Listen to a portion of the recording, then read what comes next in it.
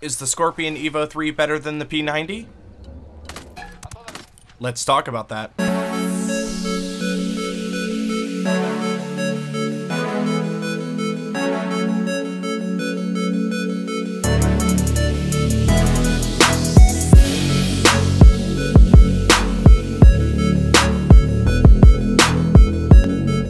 What's up guys, this is Abraxis12 coming at you with another Tom Clancy's Ghost Recon weapon review. Today we'll be discussing the differences between the Scorpion Evo 3 and the P90, with the ultimate goal of seeing which one is better than the other. With no mods attached, the P90 has slightly better damage, much better handling, and higher penetration. The Scorpion has slightly better accuracy, better range, and a much higher rate of fire. Noise reduction on both are relatively the same. So let's take a look at the accuracy of both weapons using our favorite targets, cows. The first weapon we'll be using is the Scorpion Evo 3. The first thing I would like to point out is that if you love using iron sights, this is a weapon you are going to be challenged using. The circular design of the rear sight combined with the distance from your point of view creates a fuzzy sight picture for smaller targets, particularly targets that are subdued or dark in color. You will see in some circumstances I'm not able to quickly acquire smaller targets, particularly ones that are dark in color. Aside from the issue with the iron sights, the weapon is extremely stable, barely moving with single shots up to 3 round bursts.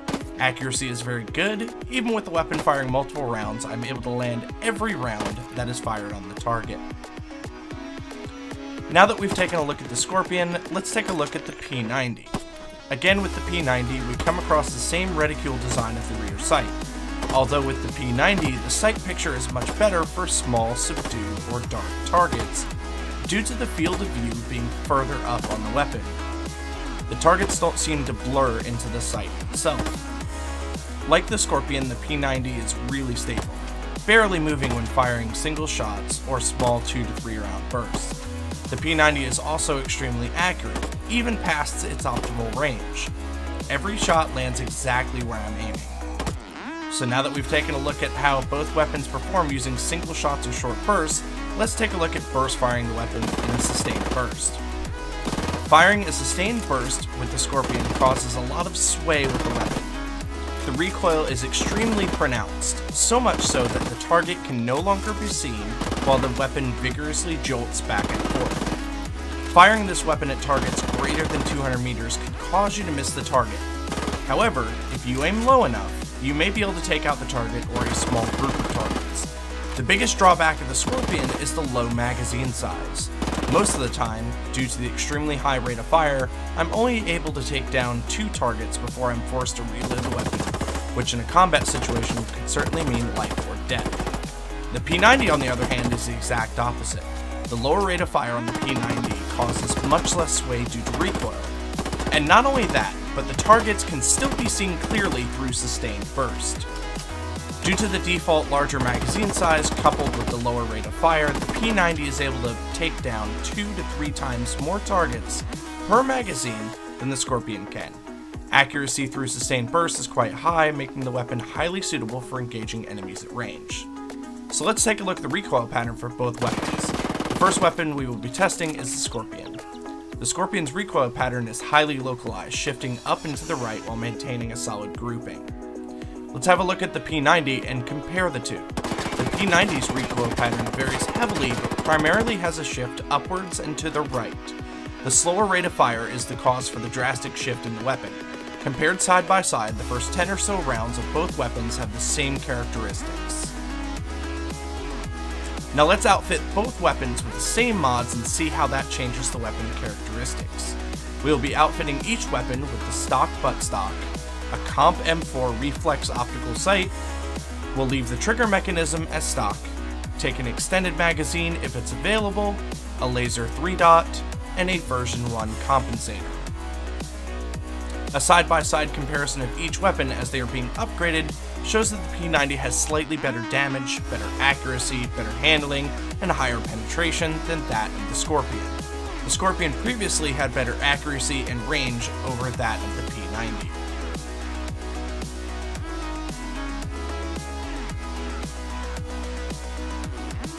Let's look at that recoil again.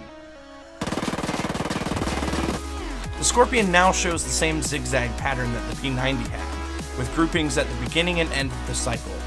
The recoil pattern is still predominantly up and to the right, but starts with the left shift. Looking at the recoil pattern of the P90, it's still the same zigzag pattern as before, alternating between the left and the right. The recoil pattern now is a bit more concise, having a gentler shift predominantly up and to the right. In a side-by-side -side comparison, both weapons have the exact same recoil, starting with the left shift and moving to the right. So let's take these weapons onto the battlefield and see how they perform in a real-world scenario. The only change we're going to make to both weapons is removing the compensator and adding a suppressor. We'll be using the Scorpion first in a small Unidad base in the starting area.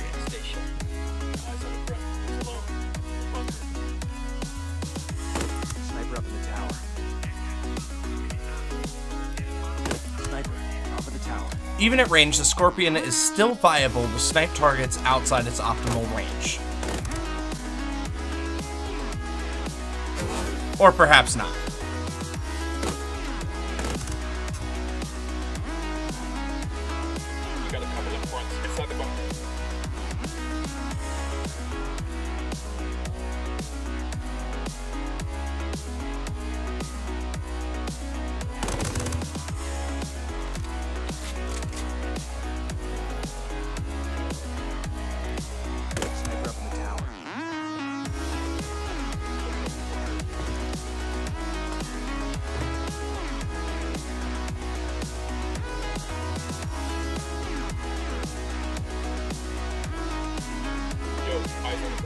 There, the. We got civilians dangerously close. Check your targets before you shoot.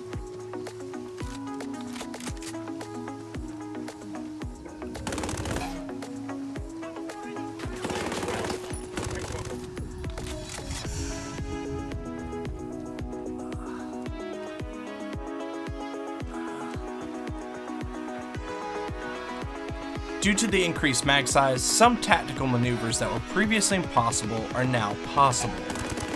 With a lower capacity magazine, that enemy may have survived and might have been able to gun me down.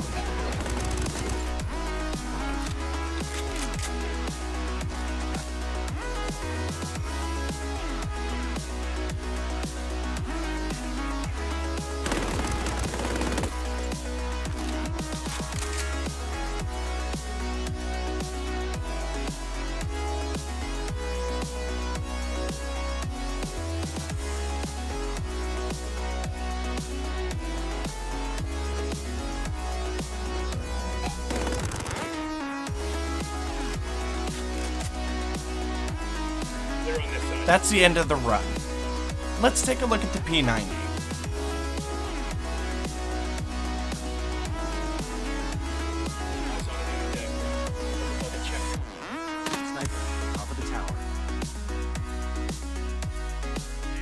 Just like the Scorpion, even at range, the P90 is still viable to snipe targets outside its optimal range.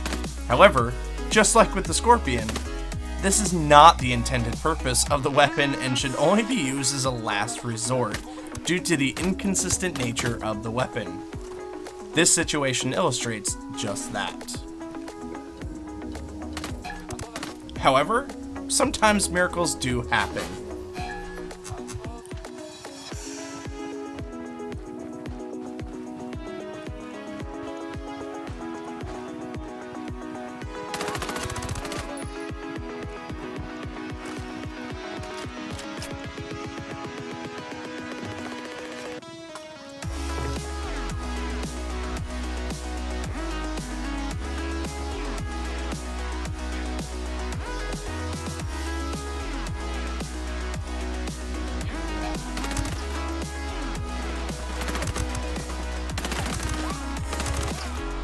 With the P90, I'm having to do far less reloading, thereby increasing its combat efficiency.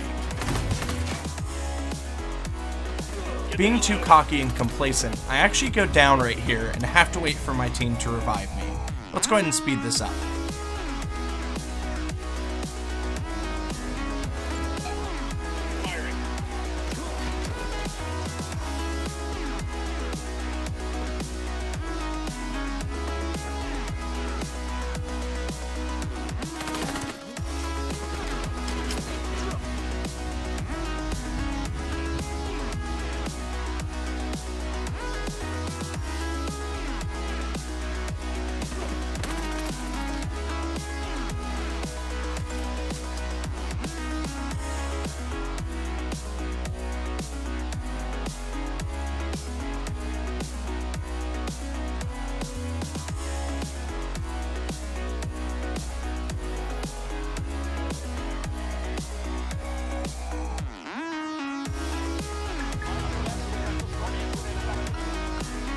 That's the end of the run.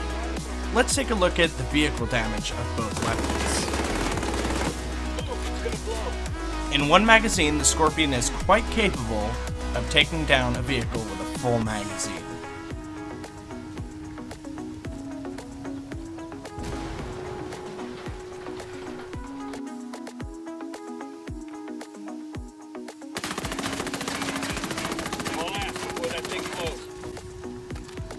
Like the Scorpion, the P90 is also able to take down a vehicle in one full magazine. So let's see exactly how many shots it takes to take down a vehicle.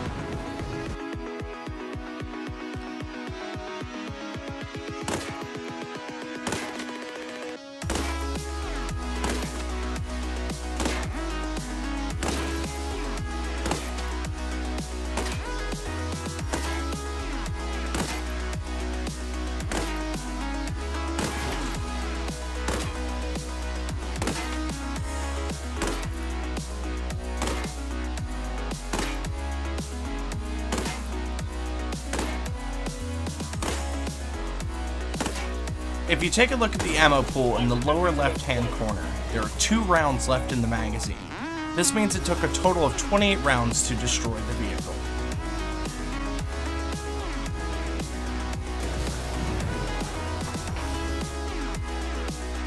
Time for the P90. Again, if you look at the ammo pool in the lower left hand corner once this test is complete, there are 28 rounds left in the magazine.